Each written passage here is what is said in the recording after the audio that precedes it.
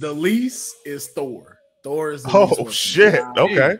Um, the second one is probably gonna have to be Eternals. Uh, after that, then next is um Spider Man.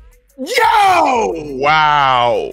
Spider Man was cool, but It was don't, cool. for me. It don't have no rewatch value. I'm just gonna What? throw that out there. I like after you didn't seen the Spider Man, I'm good. Uh, the next one is Doctor Strange.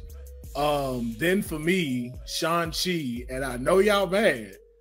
Black Widow had the hardest fucking movie out of all of them. Are you serious? What kind of had- yo, are you yeah, on? I- okay, hold on. Out of all of them besides Shang Chi, you can't tell me that story wasn't fire. it wasn't fire. That story was fire as fuck. The from the red room, everything like that story was fire.